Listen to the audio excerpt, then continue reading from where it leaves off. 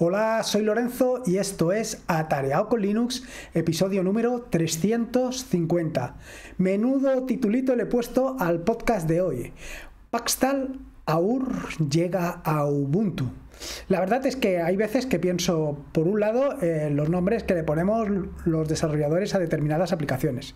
Y por otro lado, eh, aquel que desconozca por completo de qué estoy hablando, aquel que desconozca por completo Linux y las distribuciones actuales que hay en Linux, seguramente estará pensando, este tipo habla en Klingon. Alguien que pase simplemente por la puerta del podcast habrá pensado eso.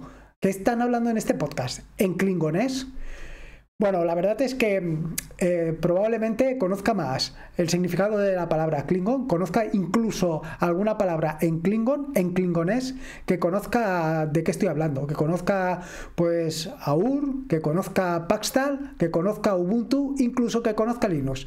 Es más probable. La verdad es que al final, pues como he comentado en más de una ocasión, eh, nos centramos mucho en determinados medios, en determinadas aficiones, en determinados hobbies, en determinadas pasiones y luego transmitirlo fuera es realmente complejo. Así que desde luego el título de este episodio del podcast no va a ayudar en absolutamente nada.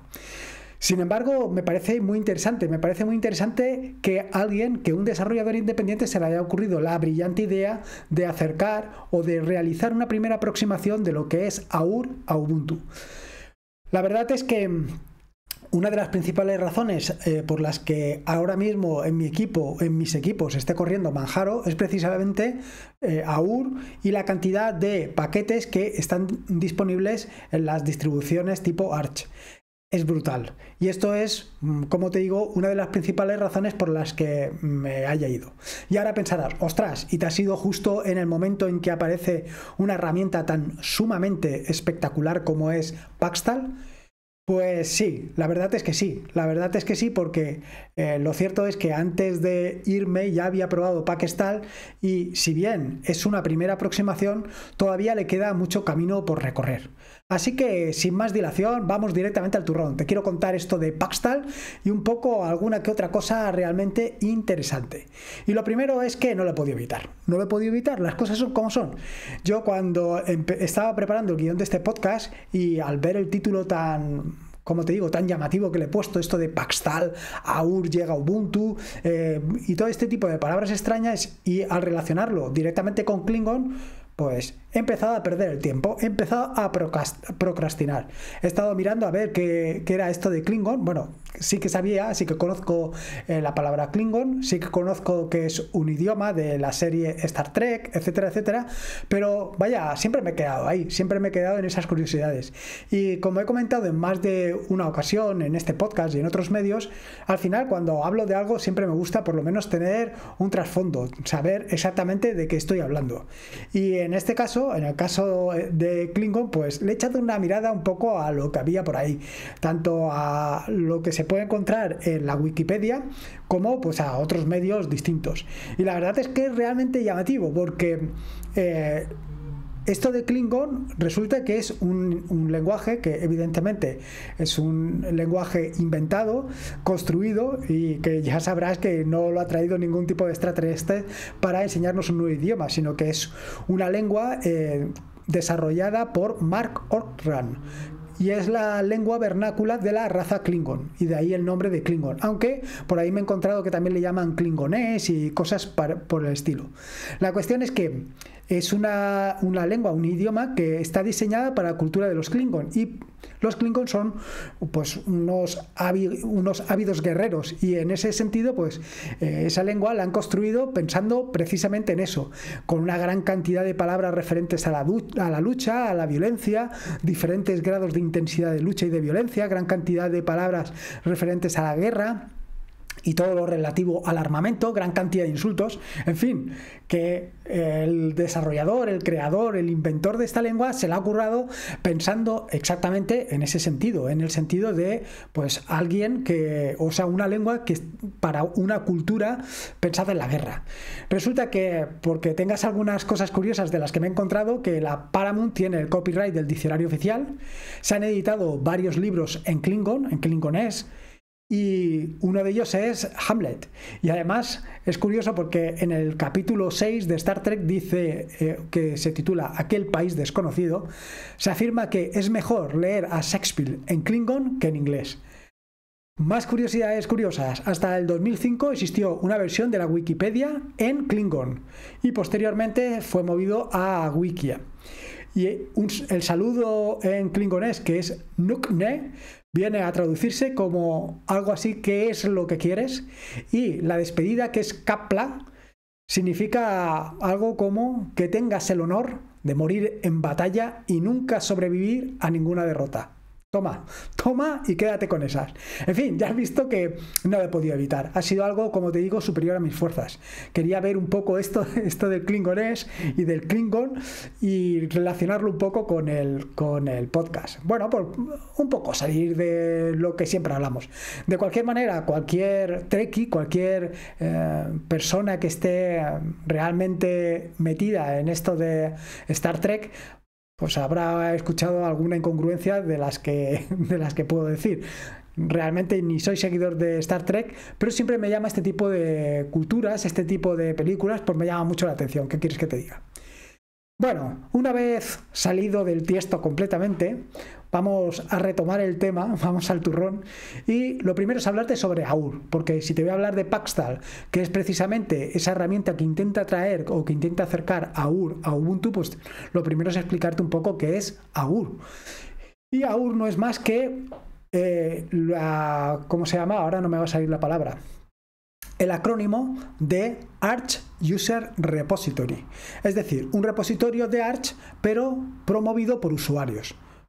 De esta manera, cualquier usuario, más o menos, puede poner en este repositorio sus archivos.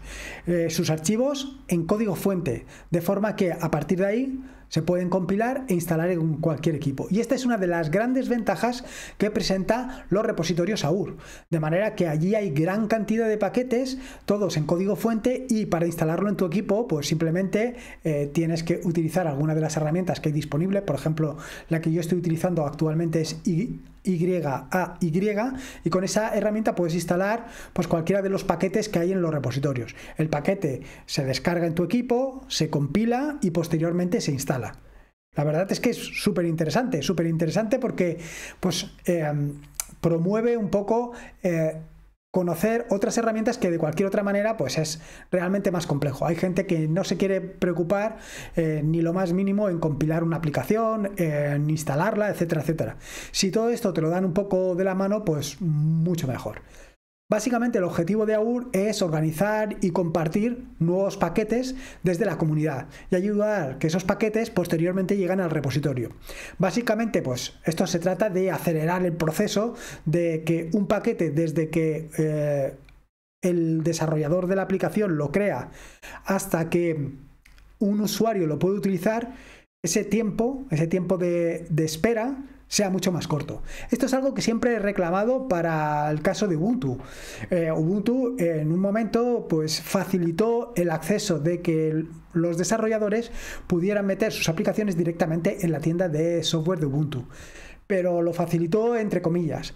El proceso no era tan sencillo como te puedas imaginar. Había que pasar a una serie de filtros humanos y esos filtros humanos pues estaban disponibles cuando estaban disponibles. Por ejemplo, mm, en más de una ocasión sí que he hablado, por ejemplo, de los de los mm, de las extensiones de Nome. Las extensiones de Nome las revisan personas y la verdad el trabajo que hacen es brutal porque tú puedes presentar una o varias extensiones y al día siguiente o a los dos días como mucho ya las han revisado. Y no es que digas tú em, que han pasado un algún tipo de software fácilmente por encima y han comprobado determinadas cosas. No, no, no. Se han preocupado de que aquello eh, cumpla con las condiciones que tiene que cumplir. Yo me he llevado más de una sorpresa de decir, ostras, esto se lo están mirando con mucho cariño. No dudo que evidentemente, pasen con determinados filtros y determinado software para eh, que sea más sencillo, pero que hay ojos humanos detrás, los hay. Y sin embargo es relativamente rápido. En el caso de Ubuntu, por ejemplo, pues eh, que una aplicación tuya entre dentro del centro de software de Ubuntu, pues es relativamente complejo. Ahora no lo sé, porque ahora ya no lo he probado, pero hace pues dos, tres años Realmente eran dos, tres años o más. Era realmente complejo. Esto con un sistema como el de AUR se simplifica muchísimo. Se simplifica muchísimo porque em, eh, lo cierto es que un paquete que esté dentro del repositorio AUR puede pasar al repositorio community. ¿Y cómo pasan al repositorio community? Pues simplemente a base de votos. Eh, la comunidad es la que vota a favor o en contra de que un paquete pase a ese repositorio, al repositorio community, y a partir de ahí ya estaría dentro de los repositorios de Arch, bueno, dentro del repositorio oficial, dentro del repositorio community. Y tú podrías instalarlo con toda la facilidad. Claro, ese camino, ese camino, eh, em, ¿cómo te digo? Ese acortamiento del camino es brutal por lo que te digo, porque es primero la comunidad la que aprueba eh, que un determinado paquete pase al repositorio community. Y eh, por otro lado, entrar dentro de los repositorios AUR es relativamente sencillo porque tú puedes poner allí cualquier paquete. ¿Quiere decir esto? Eh, que no solamente tiene que cumplir determinadas condiciones el tema de que un paquete pase a community, sino que además evidentemente tiene que tener una licencia compatible o de lo contrario no va a pasar. La cuestión más importante para mí, por lo menos, es que los paquetes que se encuentran en AUR son producidos al final por usuarios, por desarrolladores, cualquiera lo puede poner. Vaya, y el inconveniente es que eh, cualquiera lo puede poner, con lo cual ahí hay un peligro eh, que, bueno, habría que ver hasta dónde llega. Desde luego, el código fuente está allí disponible y no sé, tampoco hay que ser, bueno, locos hay en todos los sitios. En fin, pero desde luego, lo que sin lugar a dudas es una gran ventaja es eh, el hecho de que el plazo entre el desarrollo del software y que el software llegue a un usuario se acorta muchísimo. Y son muchas manos, muchos ojos los que dan el, favor, el voto a favor o el voto en contra de que un paquete entre en el repositorio community. Y efectivamente, ahí es donde está la gracia, ahí es donde está toda la ventaja de la comunidad. Así por lo menos desde mi punto de vista, AUR tiene una serie de ventajas respecto a cualquier centro de software que te puedes echar a la cara. Lo primero es que permite que cualquier persona pueda aportar sus propios paquetes. Y esto... Eh, no solamente te, vaya, te permite aportar el paquete, sino que además te hace formar parte, te hace sentirte parte de la comunidad. Vaya, al final lo que te digo, te hace piña. Por otro lado, facilita el descubrimiento y el uso de gran cantidad de paquetes y herramientas. Es decir, si eh, todo el mundo está aportando allí paquetes, pues al final el número de paquetes crece. Eh, tú puedes descubrir nuevos paquetes Puedes pasarte toda la vida en AUR descubriendo paquetes. Y dado que el paso de AUR a Community eh, depende única y exclusivamente de los votos de la comunidad, bueno, y de que cumpla una serie de condiciones, pues al final está completamente desligado. Eh, por ejemplo, lo que estaba contando yo del proceso existente entre pasar de... Em, bueno, pasar proponer una aplicación para que entre al centro de software de Ubuntu, pues dependía única y exclusivamente de una serie de personas que estaban revisando el código. Aquí no, aquí sí, depende de una serie de personas, pero es la comunidad el que da el voto a favor o en contra. O sea que está completamente desligado. Bueno, ahora que ya tienes un poco una idea de esto de AUR y de la gran ventaja que representa frente a cualquier otra solución, llega el momento de saber qué es esto de Paxtal. Pues Pakistan eh, es más o menos lo mismo, pero sin todas las ventajas que ofrece exactamente AUR. Porque eh, la gran ventaja que te ofrece AUR, además de, que de ser un repositorio de gran cantidad de aplicaciones, es que cualquiera pueda poner ahí su aplicación. Y no solamente esto, sino, y ahí es donde reside eh, sobre todo la importancia, es que cualquiera puede votar para que eso pase a formar parte del repositorio community. Aquí nos quedamos justo en ese punto, en el votar. Aquí tú puedes hacer un eh, git pull, o sea, perdón, un pull request para que un determinado paquete entre también a formar parte dentro de Pakestal. Pero la transición de Pakestal a un repositorio em, oficial o oficioso de Ubuntu no existe. Eh, no solamente el paso a un repositorio oficial oficioso, sino el voto de las personas para que pueda pasar. A lo mejor habría que pensar en algún repositorio, en algún PPA, donde eh, hacer esa transición, donde esa transición sea relativamente sencilla. Eso podría ser, eso podría ser una buena, una buena idea. Como te digo, al final, ¿qué es lo que han hecho? Pues lo que han hecho ha sido un repositorio en Git donde hay una serie de scripts que les llaman packscript donde se dice exactamente que, de dónde hay que sacar el código fuente, qué herramientas hacen falta para compilarlo y una serie de características, pues el nombre de la aplicación, en fin, determinadas condiciones. Al final, ¿qué es Paxtal? Pues es una aplicación liberada bajo licencia GNU GPL versión 3, una licencia software libre, digo, una aplicación software libre, y cuyo objetivo, pues como te digo, es convertirse en el AUR de Ubuntu, sin el paso adicional. Que yo ya te digo, ya insisto, creo que ahí es donde está realmente lo importante, en el paso adicional. ¿Cómo funciona Paxtal? Pues un poco el funcionamiento de Paxtal a nivel técnico es parecido o similar al de AUR. Básicamente eh, se trata de eh, la construcción de paquetes y como te digo utiliza Packscript, que es el homólogo al Package Build donde se encuentra pues eso, toda la información necesaria para realizar la compilación del paquete. Eh, lo realmente interesante de Packscript es que es muy sencillo.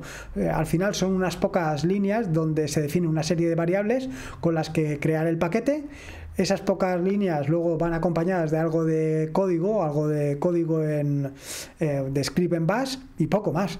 Vaya, te recomiendo que le pegues un vistazo para que veas lo sumamente sencillo que es, pues básicamente crear un, tu propio pack script para hacer un pull request y que forme parte del, repositorio de Paxtal.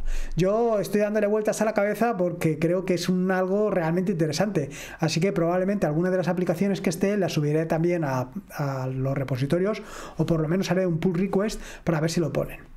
¿Qué características tiene este, esta herramienta? ¿Qué características tiene Paxtal? Bueno, pues, pues lo primero y principal, que soporta tanto binarios como repositorios Git, como app match, como paquetes dep, en fin, soporta prácticamente cualquier formato que te puedas hacer a la idea. Para la descarga de los paquetes puedes utilizar Axel. ¿Y qué ventajas tiene Axel para esta descarga de paquetes? Básicamente que te permite acelerar las descargas, permite que las descargas sean mucho más rápidas, porque básicamente paraleliza el tema de la descarga. Otra de las grandes ventajas que ofrece Paxtal es que eh, te permite tener la última versión de la aplicación gracias a la autoactualización. Actualmente, pues actualmente hay unos 170 paquetes disponibles que, como ves, eh, no es mucho, pero eh, en ese repositorio, en el repositorio, digamos, oficial de Paxtal. Pero no solamente puedes utilizar el repositorio oficial de Paxtal, también puedes utilizar cualquier otro tipo de repositorio. Y luego, por último, decirte que además de todo esto, existe el autocompletado, tanto para Bash como para Fish y una simulación para ZSH, como te comentaré prácticamente al final del podcast. Eh, la instalación y desinstalación de esta aplicación, pues es súper sencilla. En las notas del podcast he dejado los enlaces para que veas cómo instalarlo. Simplemente es ejecutar una línea de comando y con eso ya lo tienes. Eh, recientemente he visto un artículo o, un comentario o algo en redes sociales, no sé, no te sé decir exactamente dónde, en el que decía que ojito con lo que copias y pegas. Y la verdad es que sí, muchas veces estamos confiados en que estamos copiando de un sitio oficial y ojo que hay veces que o oficial o oficioso o seguro o como tú lo quieras llamar y al final pues no está ni seguro ni tan oficial ni tan oficioso. Así que eh, yo antes de hacer un sudo bash exactamente tal y como te lo he puesto en las notas del podcast, yo me descargaría el contenido del script y le pegaría un vistazo. No sea que te lleves un disgusto. Una vez probado, una vez instalado, una vez viendo cómo funciona esta herramienta, el siguiente paso evidentemente es probarla, jugar con ella, eh, instalar algún paquete, ver si se corresponde exactamente con lo, con lo que tú andabas buscando, en fin, darle una buena probada. Y si al final de todo esto, pues esta herramienta no cumple con pues con tus expectativas, e instalas dos o tres paquetes y esos paquetes, en fin, pues no son lo que tendrían que ser o no se corresponden o, en fin, o al final la herramienta simplemente no te gusta, pues desinstalarla es básicamente muy similar a la instalación. Simplemente tienes que ejecutar un comando tal y como te lo pongo. El uso y funcionamiento de la aplicación es realmente sencillo, pero realmente sencillo. Además, lo que más me gusta es que em, las instrucciones que han creado para el funcionamiento del Paxtal son muy intuitivas. Así, por ejemplo, para instalar un paquete es tan sencillo como ejecutar Paxtal menos i latina en mayúscula y el nombre del paquete. Para instalarlo, lo mismo, pero en vez de i latina mayúscula, r mayúscula.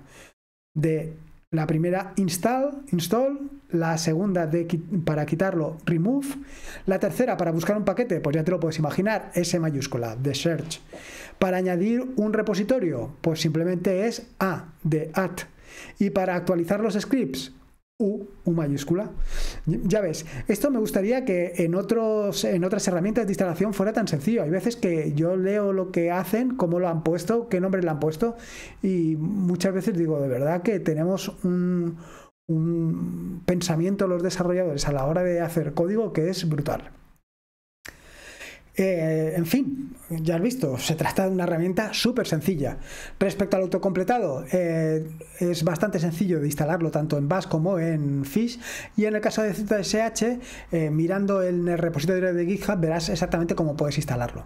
Ya te digo, esto se trata de una herramienta, de una aplicación, de un, una utilidad que la puedes utilizar y exprimir básicamente en Ubuntu, porque está pensada para, para Ubuntu. Estas son las grandes ventajas. Eh, luego dirás, bueno, y como te he comentado un poco al principio del podcast, vale, si ya tenías esta herramienta, ¿por qué, por qué te has movido a, a, Manjaro? ¿Por qué estás utilizando directamente una distribución de la cuerda de Arch? Bueno, pues por precisamente AUR. AUR y la gran cantidad de paquetes que hay disponibles. Cuando probé esta herramienta Paxtal, pues no sé si tenía ya esos 175 paquetes o tenía menos. Pero lo que sí que te puedo asegurar es que alguno de los paquetes que intenté instalar no los conseguí instalar. No me fue posible. Mm, vaya, eh, dio error y no se instaló. Probablemente tenía dependencias que faltaban. Probablemente, eh, no sé. Pero aún así, aún con todo y con eso, actualmente el problema que tiene es que pues básicamente está gestionado por una persona o por dos personas o por tres personas. No te sé decir ahora mismo el número de personas que trabajan en ese repositorio, pero hace falta que mucha más gente contribuya. Y no solamente hace falta que gente contribuya aportando paquetes, sino que desarrolladores apuesten por ello. Y yo creo que sería también fundamental el paso siguiente, el paso que te he comentado, y es que incluso eh, esos paquetes se pudieran de una manera automática o semi-automática eh, instalar directamente a un repositorio, a un PPA, de forma que la instalación fuera todavía más sencilla. Yo creo que esto sería la bomba. En fin, de todas maneras, te invito, te recomiendo que pruebes la herramienta, que pruebes Paxtal, que veas un poco a qué me refiero con todo esto de AUR, con la facilidad de instalar determinados paquetes en tu equipo sin que eh, tengas problemas, vaya. Y que le des una vuelta, hombre, que esto es para esto. Y nada más que contarte. Espero que te haya gustado este nuevo episodio del podcast. Y ya te digo, recuerda que este es un podcast de la red de podcast de sospechosos habituales, donde puedes encontrar fantásticos y maravillosos podcasts. Puedes suscribirte a la red de podcast de sospechosos habituales en fitpress.me barra. Y por último, y como te digo, siempre recordarte que la vida son dos días y uno ya ha pasado. Así que disfruta como si no hubiera mañana. Y si puede ser con Linux y con Paxtal, ya sea en Klingon o en Klingonés, mejor que mejor. Un saludo y nos escuchamos el próximo lunes.